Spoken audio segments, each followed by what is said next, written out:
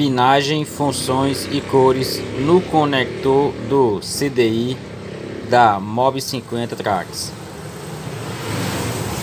Aqui onde vai o fio azul com a lixa amarela. Aqui não é usado. Aqui o fio preto com a lixa amarela. Aqui fio preto. Aqui fio roxo ou lilás aqui fio verde. Fio azul com a lixa amarela. Vem lá do estator da bobina de pulso com alimentação positiva. Aqui não é usado. Aqui o fio preto com a lixa amarela. Sai do CDI lá para a bobina de ignição.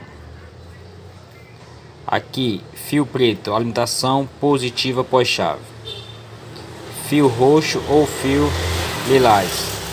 É o indicador da quarta marcha, que quando você passa a quarta marcha, vem o aterramento por esse fio, e certo para poder fazer a limitação de velocidade. E fio verde, aterramento. Show!